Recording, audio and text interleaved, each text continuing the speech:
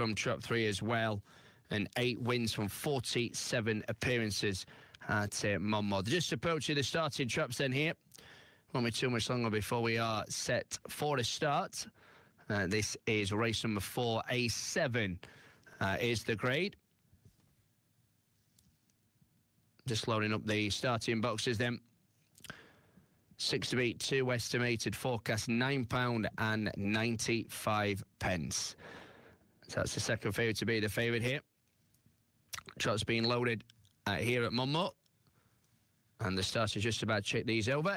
And at Monmore, the hare sent on its way.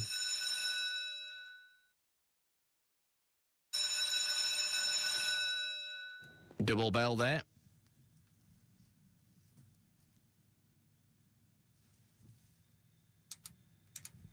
Lids up and away they go. They're off and racing to the far side. Broke well six on the near side, five, three, one, and four in behind as they charge round the first two bends. And as they do so, it's the six lead into two in second with a gap back to five in third. They're ahead of three and one and four brings up the rear as they charge into the final two bends. And it's still the six wide here, but leading. Two up the inside is trying to get on turns with the six. They turn for home and two. The far side is taking it up from six. Six fighting back on the outside. And six, I think has got up again and got on to get the job done, forcing a photo in behind uh, between three and two. But Trap Six at five to two has got back up on the outside to get the job done.